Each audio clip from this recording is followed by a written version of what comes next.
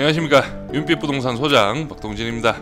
오늘은 연식 좋은 상가주택 반가 경매 물건으로 인사드리겠습니다.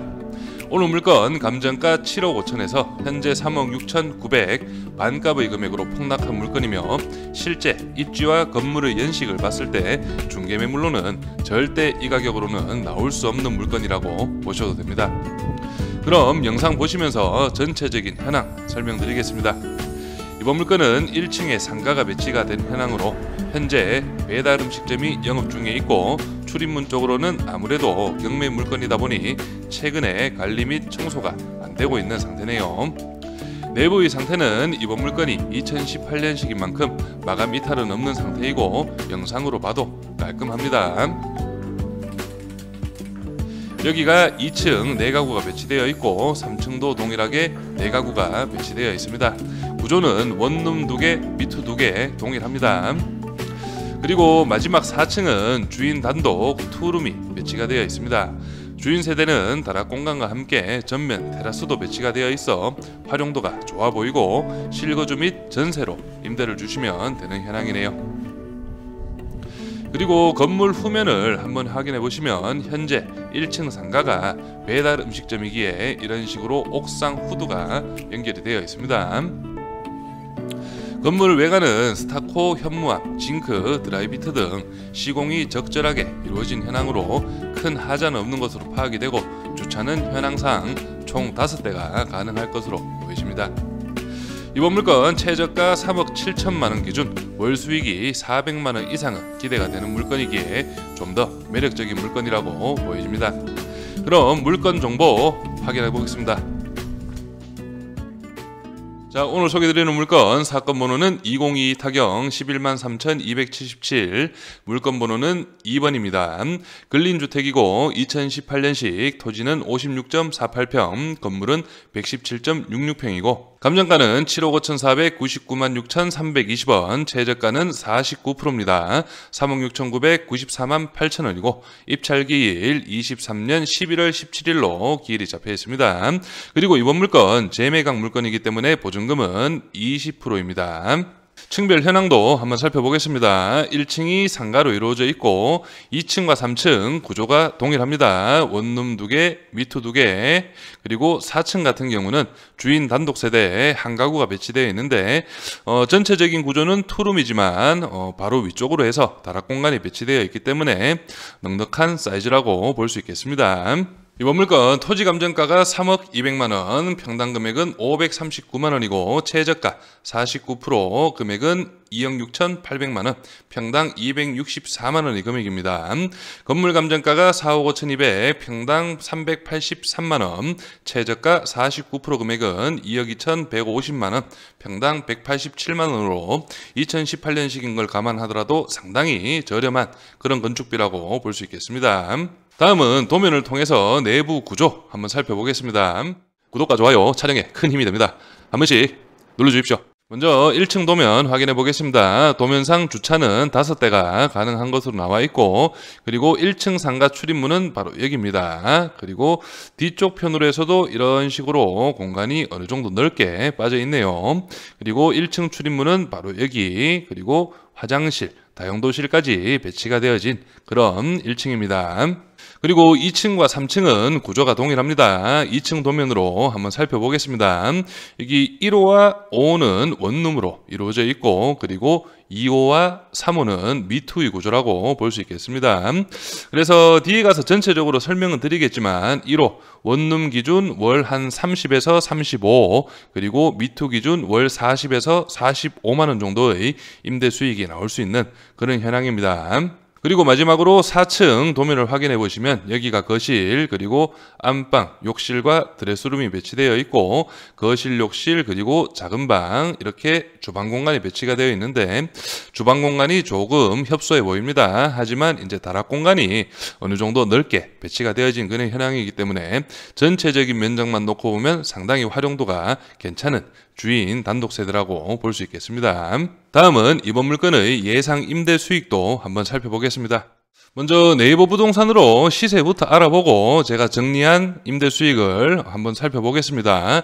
오늘 물건은 여기 파스타입니다라고 해서 이 건물이라 보시면 되고 인근으로 해서 여기 원룸이 보증금 500에 월 30만 원으로 중개 매물로 등록이 되어 있습니다. 하지만 이렇게 실제 매물을 보시면은 보증금 500, 월 30으로 표기는 되어 있지만 이런 식으로 월 관리비가 10만 원이 따로 붙어 있습니다. 그래서 여기 사용 승인일이 2018년 11월 달이고 오늘 물건과 동일합니다. 그래서 오늘 물건도 대략적으로나마 이 정도의 컨디션은 나올 수 있는 그런 물건으로 보여지고 제가 볼 때는 이 정도 컨디션 이 안 나온다 해도 월 35만 원 정도는 충분히 가능하지 않을까 예상은 됩니다. 그래서 예상 임대 수익을 한번 살펴보시면 1층 상가가 보증금 1000만 원, 월 50만 원으로 잡아봤는데 실제 현재 조사된 임차인도 보증금 1000만 원, 월 50으로 조사가 되어 있고 제가 봤을 때도 이 정도 금액은 충분히 받을 수 있을 것으로 예상이 됩니다. 그리고 2층과 3층은 어, 구조가 동일하다고 말씀드렸습니다. 원룸 두 가구, 미투 두 가구인데 원룸은 시세보다 일단 네이버 부동산에 등록된 시세보다 좀 더 보수적으로 잡아봤 습니다. 그래서 월 30만 원, 미투 같은 경우는 월 40만 원 기준해서 동일하게 2, 3층 동일하게 월 140만 원의 임대 수익이 예상되고 그리고 4층 한 가구 투룸 어, 복층 구조의 투룸이 보증금 3천에 월 70만 원 정도로 어, 반전세식으로 임대 수익을 잡아봤습니다. 그래서 이번 물건 월 예상 임대 수익은 400만 원 정도로 실제 낙찰 후 전체적으로 임대 세팅 시에는 이보다 조금 높을 수도 있을 어, 그런 물건으로 파악이 됩니다. 어, 일단 제가 원룸 같은 경우는 좀 보수적으로 해서 30만 원에 잡았고 미투 같은 경우는 아마 한 40에서 45 정도로 보여지는데 미투 금액도 40만 원 정도로 잡았기 때문에 이보다 조금 더 높을 수도 있을 그런 물건으로 파악이 됩니다. 그럼 바로 입지와 주변 시세 한번 살펴보시죠. 입주 먼저 설명드리겠습니다. 이번 물건 경산시 중방동에 위치한 상가주택 경매 물건입니다. 바로 옆쪽으로 해서 경산시청이 배치가 되어 있고 시청 앞쪽으로는 남매지라고 해서 공원이 호수공원이 조성이 되어 있습니다. 그리고 여기 위쪽으로 보시면 조금 거리가 있긴 하지만 대구 지하철 2호선 임당역도 이용이 가능합니다. 그리고 지도상 이제 우측편으로 해서는 여기가 바로 영남대학교 캠퍼스라고 보시면 되겠습니다. 그래서 이 건물건 시청 바로 옆에 위치한 상가주택이고 주변으로도 시외버스 정류장 등 상권이 상당히 활발한 그런 지역이고 당연히 임대 수요도 충분히 있을 것으로 예상이 되는 그런 입지입니다. 다음은 시세 한번 살펴보겠습니다. 오늘 물건이 바로 여기에 있습니다. 인근으로 해서 토지 거래가 한 건이 있는데 아마 9억 주택을 철거를 하고 토지로 거래를 한 것 같습니다. 여기 15년 6월 달에 거래가 이루어졌고 여기 단가로 한번 살펴보시면 평당 279만 원의 금액으로 거래가 이루어졌습니다.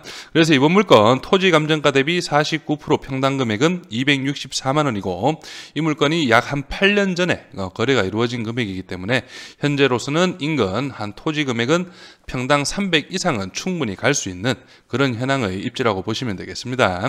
그래서 비슷한 현황의 다가구 건물들은 여기가 2010년에서 한 13년 사이에 어, 건축이 이루어진 다가구 주택들인데 당시 이제 건축 한 4, 5년 뒤에 매매 거래가 좀 활발하게 이루어진 것으로 보여지고 매매 금액은 한 5억에서 7억 정도로 거래가 이루어졌던 그런 현황입니다.